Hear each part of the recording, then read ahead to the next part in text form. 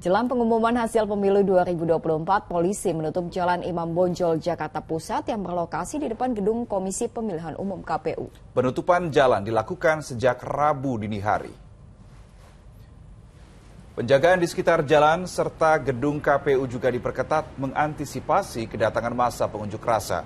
Polisi yang siaga di lokasi hanya mengizinkan pihak-pihak berkepentingan untuk keluar masuk gedung KPU. Lalu lintas dari arah Bundaran Indonesia menuju Salemba dialihkan ke Jalan Sumeneb atau Jalan Sultan Syahrir. Sementara simpang Cokro Aminoto masih dibuka saudara ke arah Taman Menteng atau Kuningan, Jakarta Selatan.